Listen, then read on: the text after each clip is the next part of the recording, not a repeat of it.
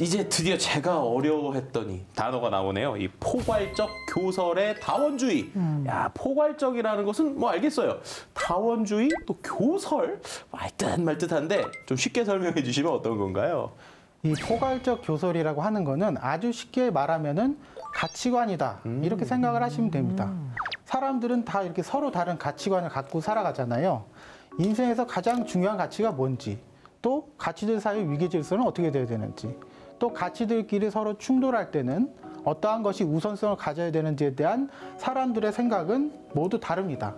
그래서 롤스의 포괄적 교설에서 포괄적이라고 하는 말은 어떤 교설 혹은 관점이 가치체계 전반을 다 포괄하고 있고 또 우리의 인생 전반과 관련해서 행동에 대한 실천적 지침을 준다는 걸 의미합니다.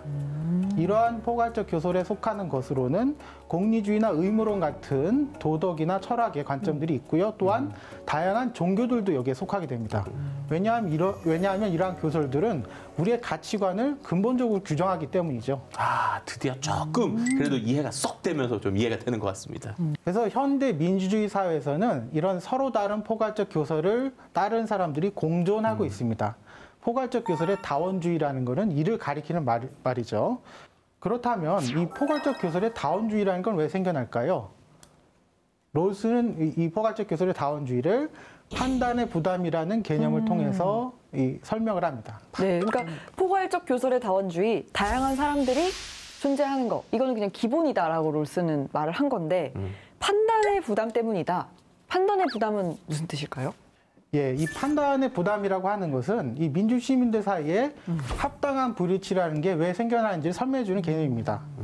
예를 들어서 시민들 중에 누군가가 자신의 목보다 더 많은 걸 가져가려고 억지를 부리는 경우가 있을 수가 있는데요. 이런 것은 부당한 불이치다. 이렇게 얘기를 할 수가 있고 이거는 원칙적으로 해소가 됩니다. 너 해소가 가능합니다. 이렇게 하면 되니까. 그렇죠. 그거를 해소할 수가 있는데 합당한 불이치는 이와는 달리 모든 시민들이 합당하고 합리적이라고 가정을 해도 그래도 생겨날 수밖에 없는 불이치를 말합니다. 그래서 이런 합당한 불이치가 생겨날 원인에는 여러 가지가 있는데요. 경우에 따라서는 관련된 경험적, 과학적 사실들이 서로 상충되는 것처럼 보일 때도 있고요. 또 관련 규범끼리 충돌하는 경우도 있고, 또 어떤 경우에는 정책이나 제도가 구현할 수 있는 가치가 제한돼 있어서 또 논쟁이 일어나는 경우도 있는데요. 이러한 모든 경우들에 우리는 부담을 감수하면서 어떤 판단을 내려야 됩니다. 그래서 판단의 부담이라고 표현을 하는 것입니다. 그래서 롤스에 따르면 민주주의 사회에서 우리의 가장 중요한 판단들은 개인이 되- 그에 대해서 합당한 개인들이 그에 대해서 충분히 토론하더라도 합의에 도달할 수 없는 그런 상황에 놓여 있습니다.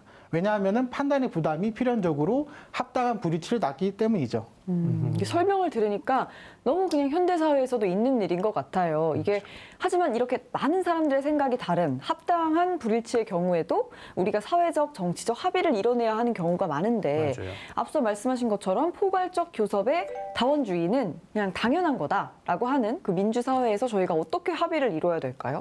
예, 그게 문제가 되는데요. 그러니까 합당한 불이치의 경우에도 합의를 이루려고 하면은 결국은 하나의 의견을 강제하면서 다른 의견을 억압하게 되는 경우가 많습니다. 마찬가지로 현대 민주주의 사회라고 하는 것은 포괄적 교설의 다원주의를 특징으로 하기 때문에 모든 시민들이 하나의 포괄적 교설을 받아들이는 것은 불가능합니다. 만약 그런 식으로 포괄적 교설을 통일하려고 하면은 정치 권력을 억압적으로 사용하는 것 외에는 방법이 없게 됩니다.